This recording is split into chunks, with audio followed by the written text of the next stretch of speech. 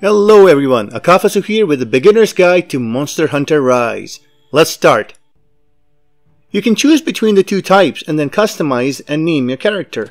When creating your character, be mindful as there are only a few features that you can change afterwards.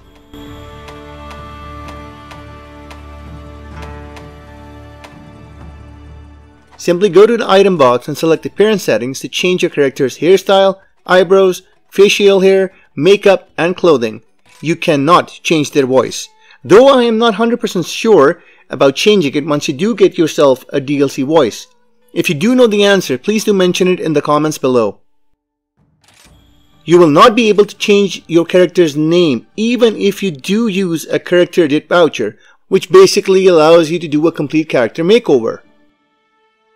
While creating your Palamute, it is all cosmetic so you don't have to worry about a thing. But there's something that I'd like to tell you about your Palico, especially when you choose its support type.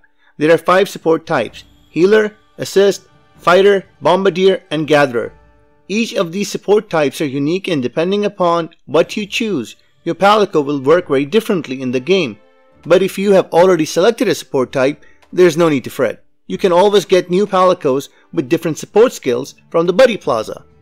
The game also provides you with various downloadable buddies, more on this in a bit. There are three types of quests in Monster Hunter Rise, Village, Hub, and Arena quests.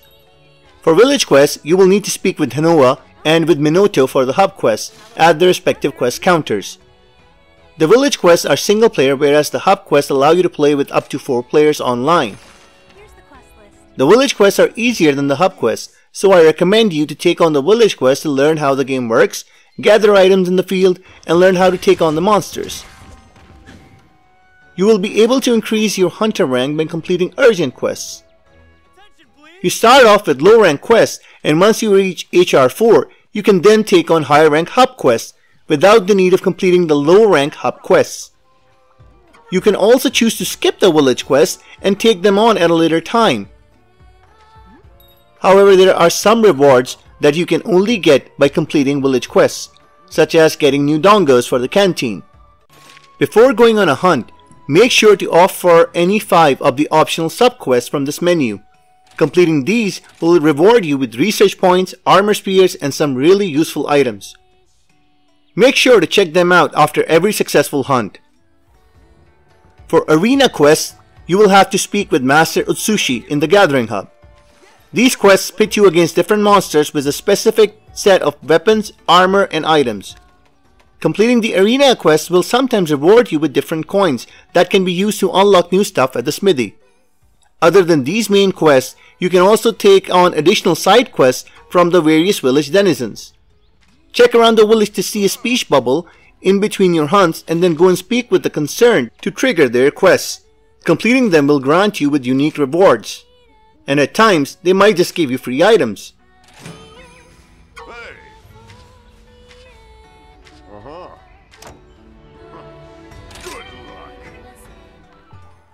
Before you embark on a hunt, make sure to drop by the canteen and eat up. This will not just give you an extra 50 health and stamina, but also some really nice buffs. These buffs depend on what dongos you eat. You may unlock more dongos by completing various quests and gathering special items out in the field. When playing in an online lobby, dongos unlocked by other players will also show up in your canteen. I recommend eating for buffs as per your weapon type. For example, if you want to do this,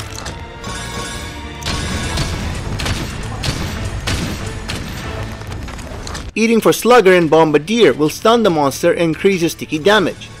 Other helpful dongos are like this Moxie, which will save you from a fatal blow if your health is more than this indicator. Next is the motley mix. You may have wondered, what exactly is it? Well, let me explain. This is basically a trade-off. You give certain items to the canteen and in return receive new items. Just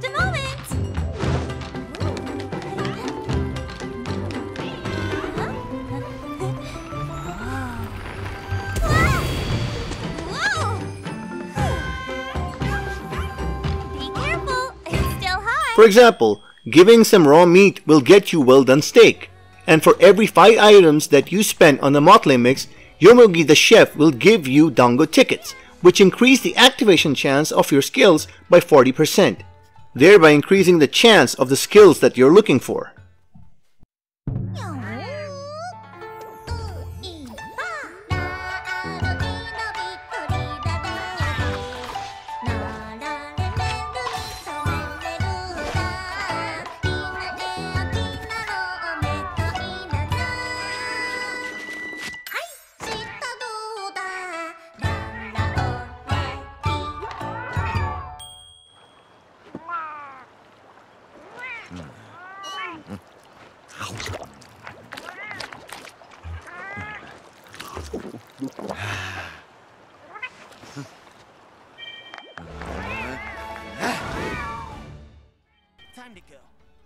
Well, don't ask me why it's called the mailman. Uh, it should definitely be called the mail cat. Ah, M-A-I-L cat, not the mail cat. Anyways, think of this Palico as your online and DLC cat. You can create online lobbies here or join other players' lobbies. You can also play with your friends in each other's lobby. Selecting add-on content will allow you to download all of the event quests and any other downloadable content, whether it's free or paid. The quests will become available at the hub quest counter, whereas the items will be sent to your item box. Which reminds me, if you have armor less than rarity 3 equipped right now, please equip the Guild Cross armor that you get for free, and then farm your way to better armor. Shops are where hunters come to buy and sell stuff. If you have amiibos, you can select this option here. Sometimes the shop will also offer you a lottery, where you can pay with money or a lottery ticket and get different goodies. During this time, the shop will also go on sale, meaning everything will be offered at half the price. And this is the time that I recommend you to go shopping, especially if you're looking to buy a lot of stuff. Later on in the game, you will unlock the melding pot, which will allow you to craft talismans. These are powerful accessories that have special skills and slots for decorations. I found that the top three aren't really all that good. It's the Wisp of Mystery and Rebirth that give you the really good talismans. Oh, and uh, yeah, they are all random, which means that I would uh, really recommend you to craft them as much as you possibly can in order to get the really good ones.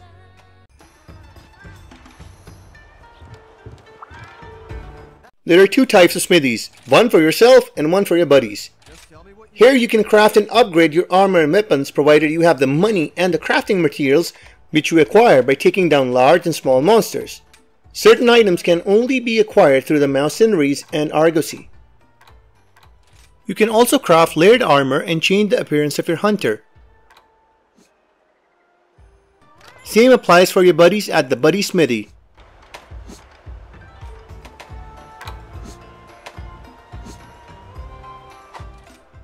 To craft their armor and weapons, you will need scraps, which can be traded for different items. Also, by visiting the item box and choosing Manage Equipment, Equipment Display, you can change your armor display settings.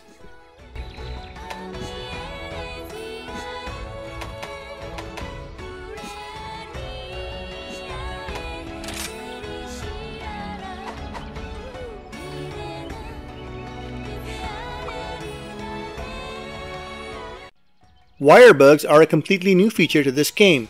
Not only do they allow you to traverse large areas, but they also have very specific weapon moves.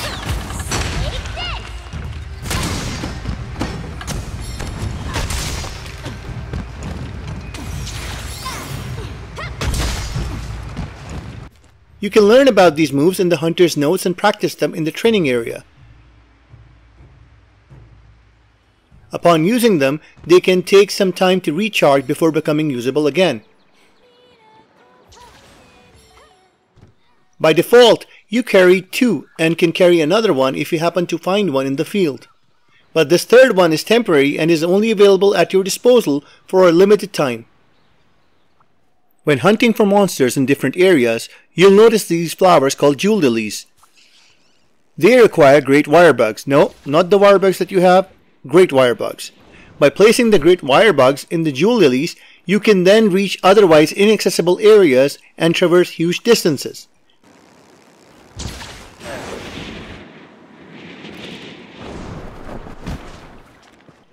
You will have to speak with this guy and he'll give you some to begin with, and he'll give you more if you complete his side quests.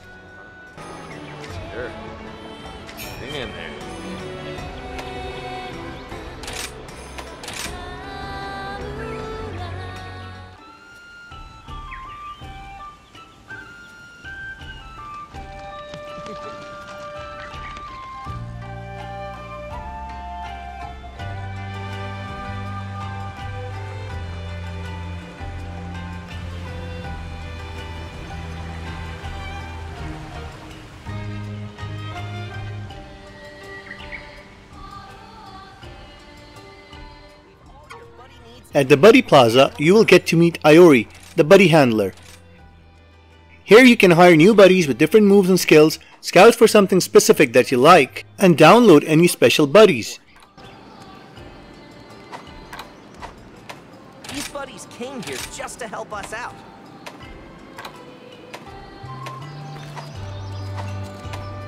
You can also rename your buddies, yes, even the ones you created, but not the special downloadable ones.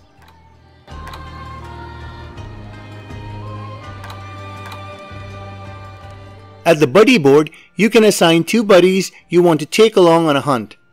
You can take two buddies with you if you're playing solo or just one buddy, which is buddy number one, selected on the buddy board. This means that you can take two cats or two dogs with you at any given time.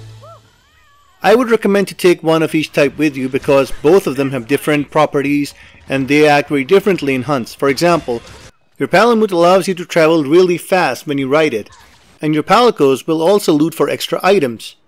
Buddy skills allows you to assign various skills to your buddies. More can be equipped as you level them up.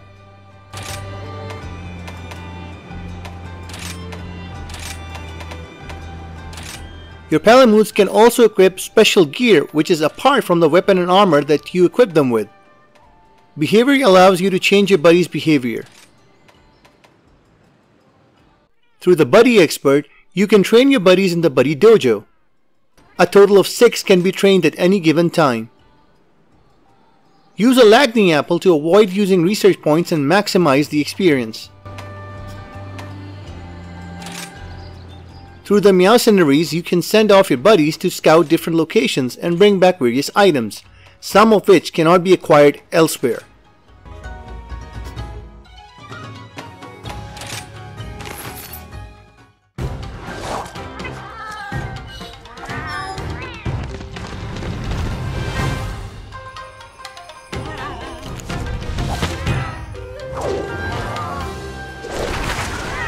Don't ask me why it is called that even though you can send your dogs, I have no idea. Maybe because it's run by a cat? There's also this big tree which you can climb and search the Cohoot nest for a maximum of 5 random items. I recommend coming here every time your Meowcenaries return.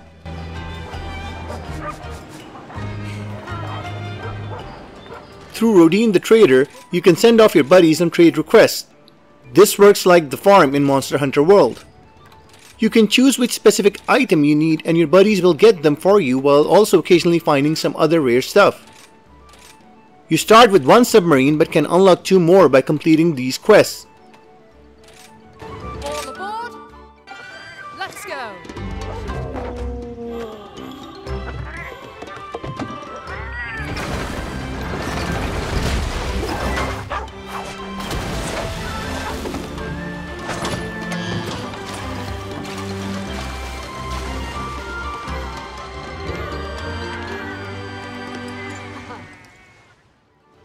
Buddy bargaining provides you with some special results at the cost of research points. More bargains open up as you level up your buddies. Which reminds me, sending your buddies off on the Argosy or Meowcenaries will not level them up, so make sure to use the dojo for any buddies you are not taking along for your hunts. Through Argosy, you can also trade research points for various goods, special goods, and rare finds, some of which can give you a nifty amount of zenny. Taking this dinghy from the Buddy Plaza will take you to the training area. Here you can try out the 14 different weapons and practice using the wire bugs and switch skills.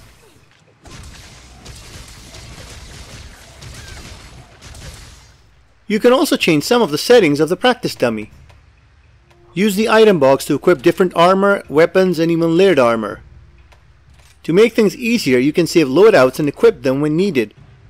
You can save your loadouts separately for your weapons and armor, layered armor, and items.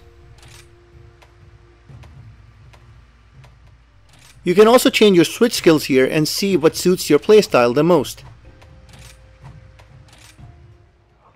Through your housekeeper, you can customize the interior of your room with various decorations and even the pictures that you took using your camera.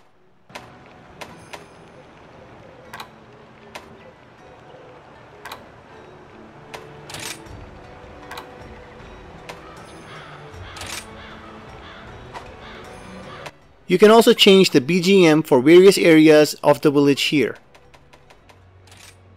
The Meowcenaries, Argosy, and Buddy Dojo can also be accessed from your housekeeper.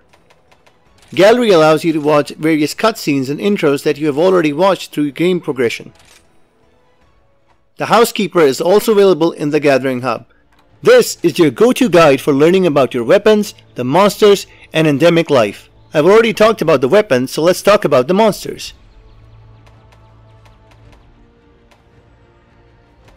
Here you can see which weapon and element type the monster is weak against. The higher the number, the weaker the monster is to that type. This page shows you how you can get different monster materials, along with what are the chances of acquiring said materials. Sometimes you'll have to slay the monster and at times capture it if you're looking for something in particular.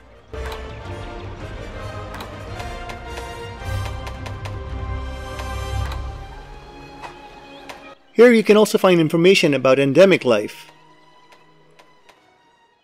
Well, that's it for now. I hope you found all of this, or at least some of this information really helpful, and that I've been able to explain the various systems and elements of the game. Thank you for all the support, for all the views, for all the likes, it means a lot. I'll be posting some new content real soon. So until next time, happy hunting.